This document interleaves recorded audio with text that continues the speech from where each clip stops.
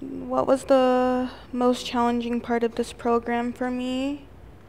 I would say going out and actually interacting with the people we were interviewing since I kind of struggle with like social anxiety a little bit.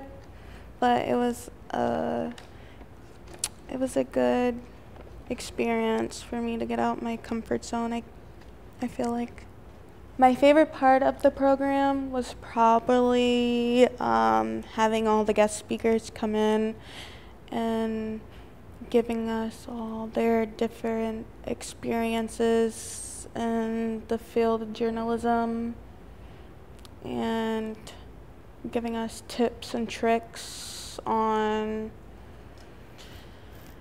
different subjects like photojournalism or audio and yeah.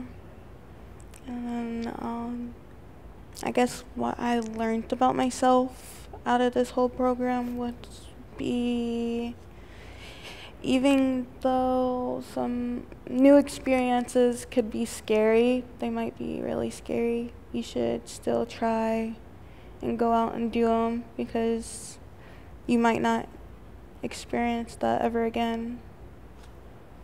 So, yeah.